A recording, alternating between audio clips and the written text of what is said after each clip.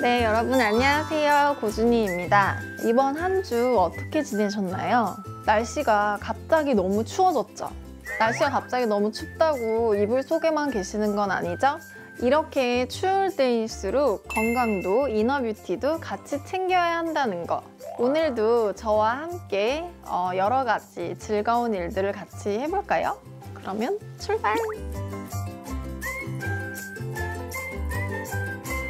이제는 진짜 겨울이 다가왔다 싶을 정도로 날이 너무 차고 바람도 너무 많이 부는데요.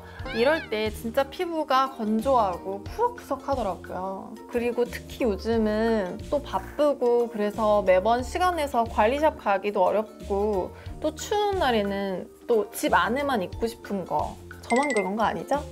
다들 똑같은 마음인 것 같은데요.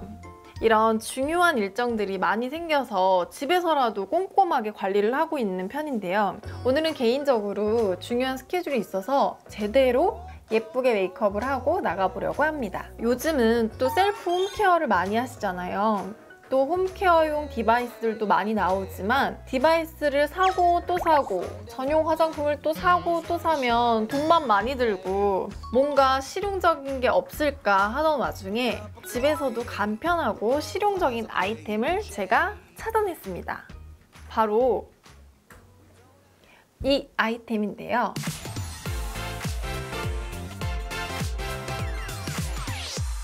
약간 좀 핑크핑크하게 이쁘게 생기지 않았나요? 사이즈는 또 이렇게 작고 미니미니해서 손에 아주 싹 감기는데요. 이게 뭐냐 하면요. 롤링을 해서 바르는 앰플이에요. 이 케이스 안에 든 거는요. 앰플이고요. 이 뚜껑을 돌려서 열면 이렇게 롤러가 나와요. 좀 신기하죠? 이 롤러로 바로 얼굴에 앰플을 바로 흡수시키는 거예요. 사실 우리가 귀찮아서 기초 케어를 막 손으로 후딱후딱 해가서 이렇게 막 바르잖아요. 그러면 이 얼굴에 흡수되는 양보다 손에 흡수되는 양이 더 많다고들 해요. 그리고 손은 또 오염이 될 수도 있거든요. 좀 더 깔끔하게 바를 수 있도록 이렇게 롤러 형태로 만들어졌더라고요. 좀 신기하죠? 이렇게 롤링을 하면서 앰플을 발라주면 마사지를 받는 기분이 든달까? 근데 여기서 끝이 아니에요. 이 뚜껑에 또 다른 비밀이 숨어 있어요. 짠! 이 괄사 마사지를 할 수 있는 팁이 숨겨져 있는데요. 이게 롤러 괄사, 앰플이 하나로 합쳐져 있는 anti-aging care 화장품이에요. 보통 앰플하고 또 device로 흡수시키고 또 괄사로 마사지하고 하면 그 단계가 너무 막 복잡하고 긴데 그거를 이렇게 쉽게 하나로 합친 거예요. 이런 간편템이 많이 나올수록 귀차니즘에 심한 분들은 아마 환호를 하지 않을까 싶습니다. 이 앰플에는요. 콜라겐이 들어있는데요.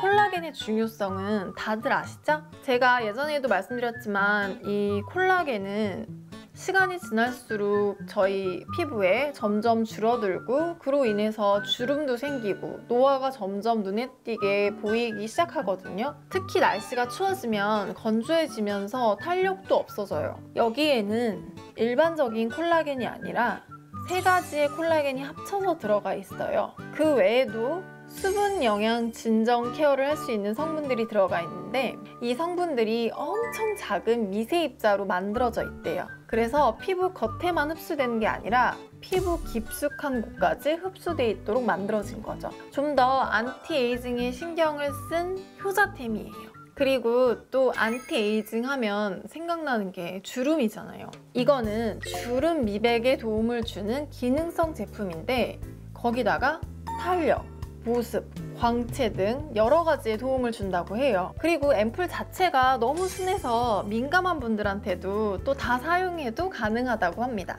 제가 한번 보여드릴게요.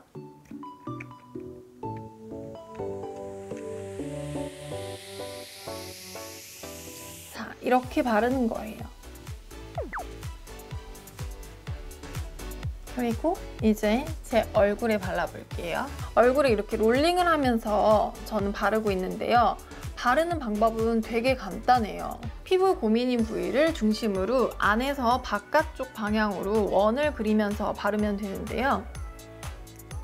이런 식으로 그리고 또 본인이 신경 쓰이는 이런 주름 같은 부분이나 그리고 팔자 부분 그리고 앰플은 보통 고농축이잖아요. 거기다가 콜라겐이 엄청 많이 들어있다고 하면 조금 리치한 느낌이 들 수 있는데 이 앰플은 콜라겐이 엄청 많이 들어가 있는데도 오일리한 느낌이 없이 굉장히 산뜻해요. 마무리감이 너무 마음에 들더라고요.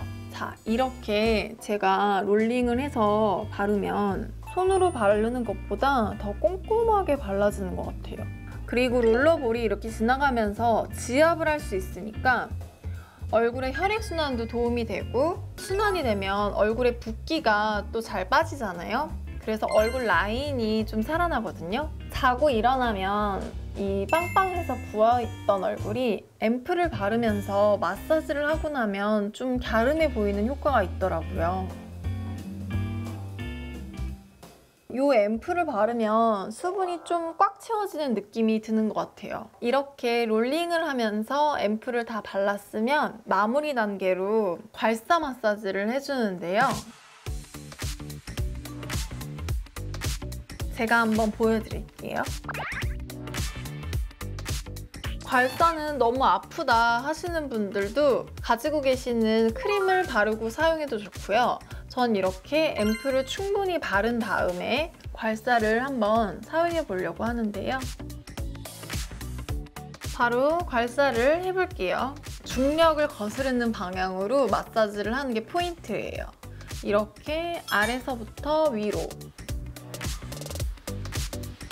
그리고 얼굴 라인은 안에서 밖으로